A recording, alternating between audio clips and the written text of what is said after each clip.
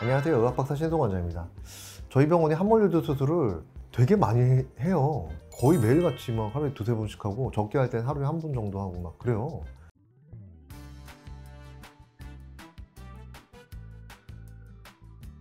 그 함몰유두가 막 딴 데서 거절당하고 오신 분들이 꽤 있어요. 함몰유두가 쉬울 땐 쉬울, 되게 쉬운데 어려울 땐 또 되게 어려워요. 그래서 유두 아래의 조직이 얼마나 단단한가가 사실 제일 중요해요.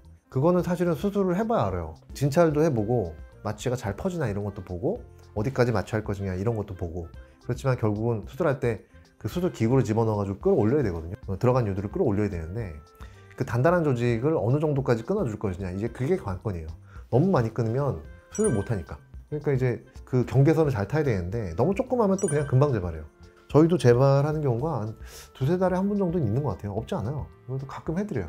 그러니까 0%는 없어요. 0%는 없는데 다시 오시면 돼요. 그러면 다시 하면 대부분 괜찮아지고 이렇게 들어갔던 게 이 정도 나왔으니까 그 다음에 조금 더 올리면 돼요.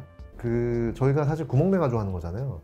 근데 원래 이 수술법은 절개법을 변형한 거예요. 그냥 유두의 가운데를 열고 들어가는 수술법이 있는데 제 생각에는 아, 그열 필요가 있을까? 그냥 구- 이쪽에 한쪽에 구멍 내 가지고 그냥 하면 될 것 같은데 그렇게 해가지고 만들어낸 거예요.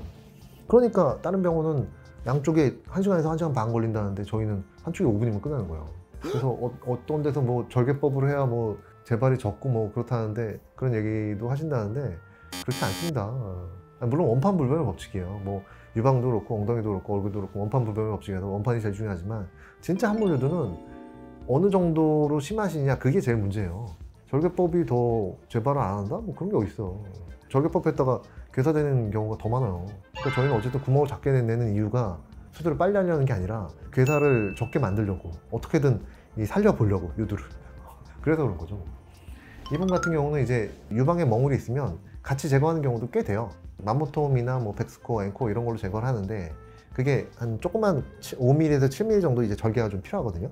그러면은 함몰유두 교정하면서 거기로 그냥 들어가는 거예요. 들어가가지고 그 멍- 멍을 떼낸 다음에 그 함몰유두는 이제 쌈지봉합을 해줘요. 그러니까 유두가 당겨지는 조직을 끊어준다고 해서 유두가 올라오진 않아요. 그래서 녹지 않은 실로 쌈지봉합을 돌려가지고 이렇게 끌어올리는 거거든요. 근데 그 쌈지봉합을 돌릴 때 그러면 이 구멍이 그 작아져요. 더.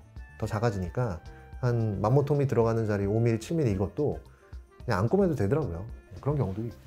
이분이 그런 경우셨어요. 그러니까 극 3단계죠. 그러니까 그냥 3단계 정도가 아니라 좀 많이 힘드신 그런 3단계이신 함몰유두를 이제 절개는 안 하고서 구멍만 내고 원포인트로 이제 하는 방식을 했었고 그 다음에 이제 멍울도 같이 제거한 거죠. 총팔 보니까 이제 유방에 멍울이 있어가지고 이 유두에 자꾸 노폐물이 껴가지고 냄새 나고 막 그러니까 이제 사람들이 그래서 함몰유두 또 교정하러 오시는 거죠 뭐.